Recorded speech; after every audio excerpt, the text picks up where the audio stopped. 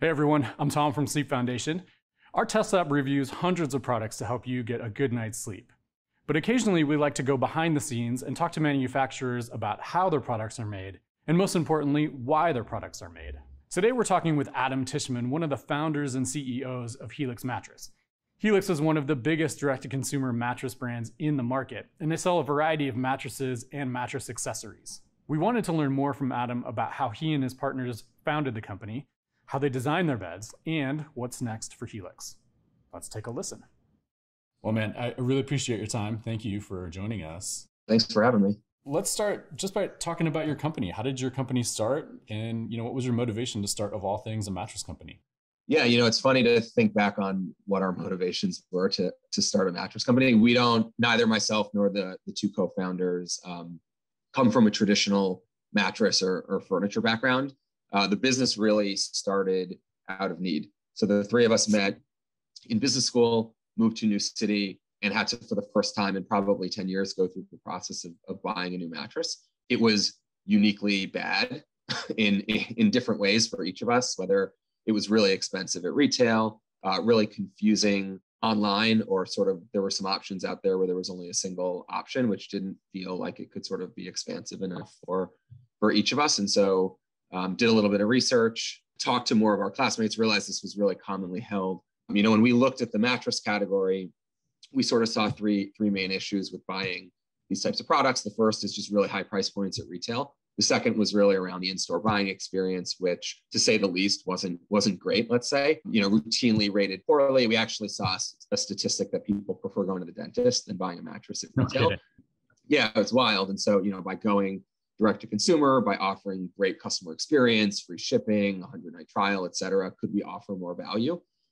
But where we really wanted to differentiate was on the product experience. So consumers were going into stores and it was really unclear what you were buying and why you were buying it. People are not necessarily mattress experts. It's really opaque and hard to understand.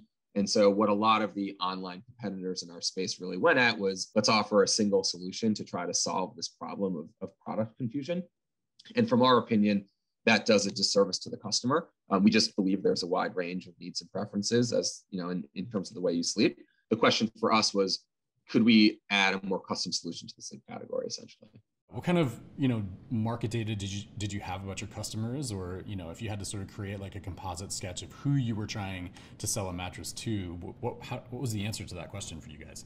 So you know data is just super core to everything we do. Whether that data is sort of secondary market data, pre-purchase lead behavior data, and of course um, post-purchase product satisfaction data. One of the nice things about our model is that our sleep quiz allows for us to be really granular and specific in the data we collect. Um, this allows us to improve our products and our algorithm at a really nuanced level that we believe is a competitive advantage. And you know, in terms of customer, what's what's really funny is like you know, mattresses are such a mass market product, right? Everyone or close to everyone is sleeping on a mattress. When we launched the business, we thought our typical customer would be someone much younger, say sort of mid, low to mid 20s. Hmm. Um, and we're really seeing that while we sell mattresses, you know, pretty much daily from people as young as 18 to as old as 80 plus. Um, our core demographic is, is definitely older than that. You know, people in their late 20s through 30s and, and early 40s is sort of the core um, online buyer now. Why do you think that is? I think earlier on, the, the early adopters to feeling comfortable buying these products online were people that were younger, people a little bit more digitally native. Um, and what we found is that it's just becoming more normalized among an older set of customers. And, you know, it, you know, older being 30s, 40s, 50s, et cetera. Part of that is just the value that is being offered by companies like Helix. It's just undeniable. And, you know, I think the pandemic has certainly accelerated people's feeling okay buying these products online as well. I, I, had this brief moment of thinking, like when I was in my early 20s, I didn't really care where or what I slept on. Yeah. you know what I mean? So it's probably not until you get to your late 20s, early 30s that you begin to actually become more aware of, like, oh yeah, this makes a difference. A hundred percent. I think that's definitely true. I think you know we, we believe we're selling a premium product at, a, at an approachable price point.